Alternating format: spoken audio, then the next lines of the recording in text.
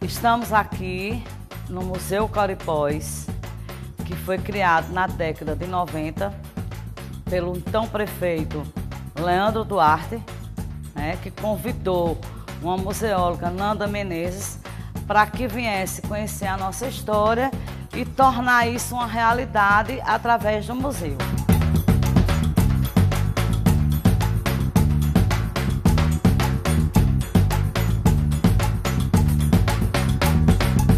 O nome Museu Coripós se deve a uma tribo indígena que nós tivemos aqui na Ilha da Missão, né, que fez parte. Então isso foi uma homenagem e também porque a nossa cidade antes era chamada de Vila Coripós, né, que também era em homenagem a essa tribo indígena que habitava aqui na Ilha das Missões. Esse local aqui, essa casa onde hoje é o museu, ela antes foi uma, a cadeia pública municipal da cidade.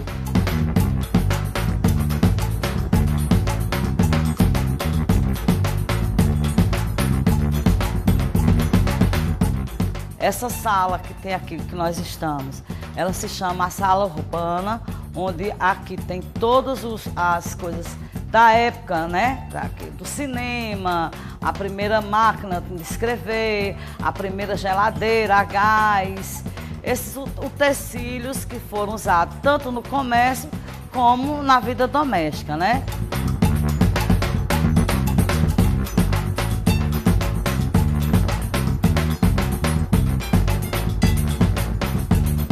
Logo abaixo nós temos o jardim que, que remota a caatinga, é, é, especificamente com plantas da caatinga, esse jardim. E lá embaixo nós temos a sala do couro, que remete também aos vaqueiros, que nós temos muito que Boa Vista era, era na verdade, uma, é, uma fazenda de gado no começo, né? Eram várias fazendas de gado.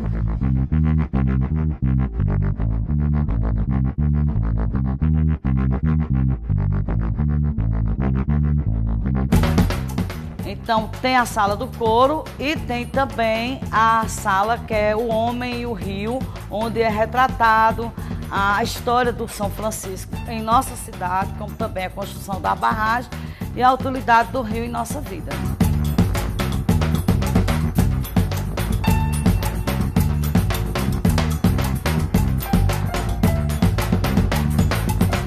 As doações no começo foi feita uma reunião, um pedido público às, às moradores da cidade que, que se interessassem em contar a nossa história e houve realmente essa contribuição.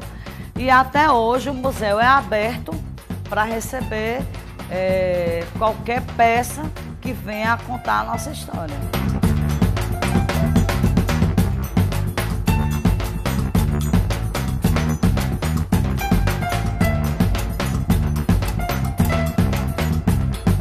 TV Catinga, a verdadeira imagem do sertão.